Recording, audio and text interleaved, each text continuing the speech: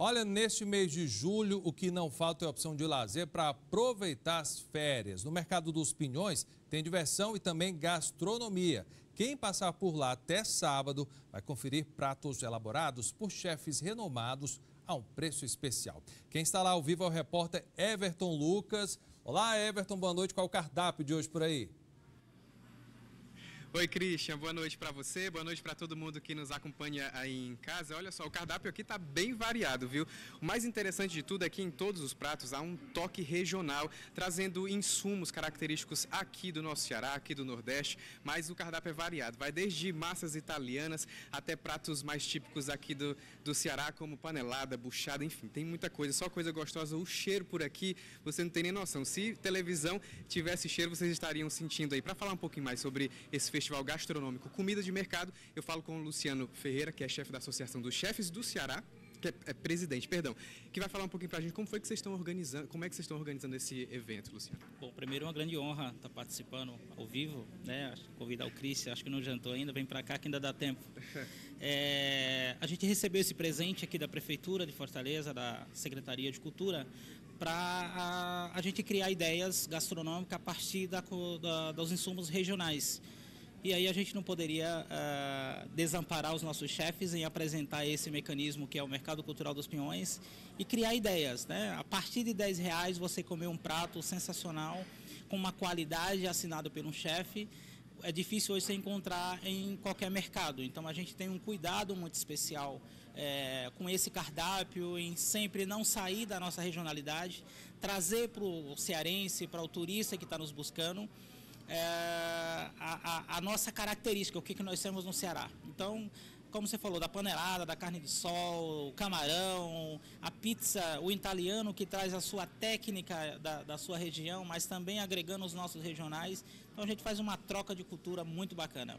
Interessante, você falou que a partir de 10 reais, né? O pessoal às vezes até fica um pouco com medo de, ah, o prato é, é barato, pode não ser tão bem servido, mas os pratos aqui são bem servidos, né, Luciano? É, a gente pensou, é, porque são 18 boxes né, que, que funcionam aqui no mercado, a gente pensou para dar condição às pessoas a degustarem vários pratos.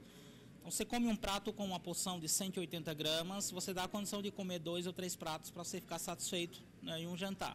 Se a gente colocasse uma porção de 300 gramas, eu comeria um prato e aí eu não degustaria o que eu tinha vontade de comer.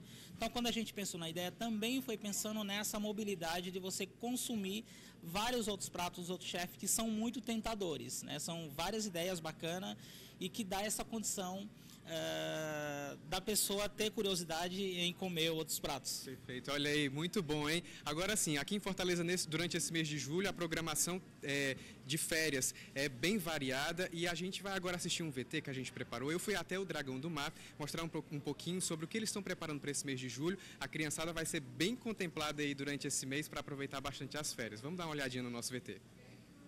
Férias e programação cultural são duas coisas que combinam muito, né? Bom, se você concorda, então vai gostar de saber que o Centro Dragão do Mar está com várias atividades preparadas especialmente para este mês de julho. Com o tema Liberdade para Pensar, Brincar e Sonhar, as ações acontecem por toda parte: teatros, museus, Praça Verde, cinema e na Escola Porto Iracema das Artes. O mês de julho ainda vai trazer mais uma novidade. É a retomada do Dragão para Crianças que vai acontecer aqui mesmo na Praça Verde, com brincadeiras, oficina de desenhos, pinturas, tem também construção de brinquedos, apresentação de quadrilhas juninas e o Cine Miau, que é um verdadeiro cinema ao ar livre. Tudo isso vai permanecer fixamente na programação do Dragão do Mar todo domingo às 3 horas da tarde. O Cinema Dragão do Mar também vai exibir todos os domingos o filme infantil Sobre Rodas. Os pais ou acompanhantes das crianças pagam entrada com um desconto bem bacana. A gente está tentando reaproximar as crianças aqui da sala do Cinema do Dragão. É um público que tem um contato com as nossas salas, especialmente no mês de outubro, né, que é o mês da criança, que a gente faz algumas ações voltadas principalmente para o cinema de curta-metragem infantil. De 16 a 20 de julho, grandes músicos da cena instrumental brasileira sobem aos palcos do Centro Dragão do Mar durante o festival Pôr do Som de Música Instrumental. É um festival de música instrumental que acontece aqui nos espaços do Dragão do Mar.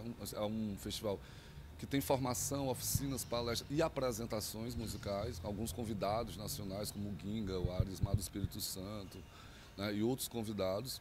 Programação toda gratuita e vai estrear agora durante esse mês de julho. A ideia é que a gente realize esse festival também é, anualmente.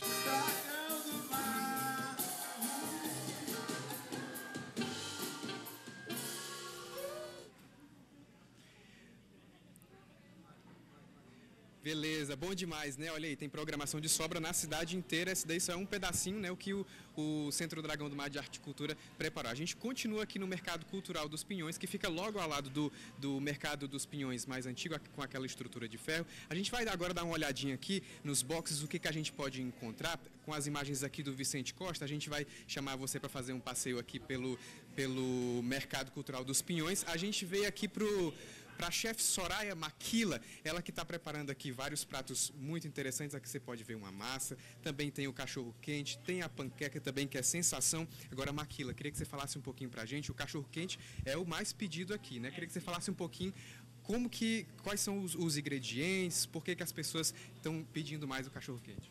Porque ele é diferente dos outros hot dog, né?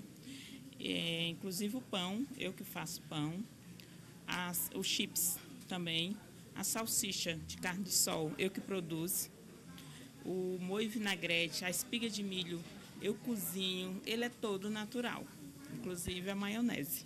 Entendi. Que outro diferencial tem aqui no seu box para as pessoas poderem é, apreciar suas receitas? A panqueca da massa da macaxeira. Ela é totalmente natural, feita no leite de coco, feita no azeite de oliva. A massa da macaxeira é natural, e tem três tipos de recheio. Beleza, Soraya, muito obrigado, viu? Vou já aproveitar para comer também um pouquinho. A gente vai dar mais uma volta por aqui. Vamos aqui, Vicente, para a gente dar uma olhadinha mais o que, que tem. Aqui a gente tem massas italianas, só um minutinho, que ao vivo é assim mesmo, viu? O microfone enganchou aqui na bolsa. A gente tem aqui massas italianas, vamos mandando mais um pouquinho. A gente tem, tem bolo, tem essa área de confeitaria, como o Vicente vai estar mostrando para vocês. Ah, e tem uma coisa que também é bem característica da gente, tem também cachaça, que é a cachaça do Barão. Barão tá vendendo cachaça aqui para o pessoal. Ei, Barão, que, qual o diferencial aí da sua cachaça? Ah, isso aí é uma, uma, alquimia, né? Eu comecei a mexer, fazer fusão com raízes e, cheguei, e desde 2014 que eu dominei a técnica da raiz não travar. Então, é, é uma bebida que eu uso, é uma cachaça daqui da terra, do maciço de Baturité, certo?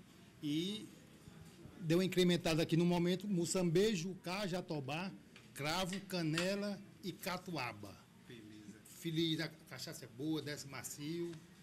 Vale Olha, a pena, viu? Valeu, Barão. Muito obrigado pelas informações. Ô, Christian, olha, eu vou ainda demorar um pouquinho aqui no Mercado Cultural dos Pinhões, porque é claro que eu vou aproveitar todas essas receitas, essas comidas gostosas que a gente está encontrando por aqui. Só lembrando, a partir de 10 reais. O, o evento continua aqui até sábado, então você pode chegar aqui no Mercado Cultural dos Pinhões e poder aproveitar todas essas delícias que estão aqui disponíveis para você que gosta de gastronomia. Eu volto com você aí no estúdio, Christian.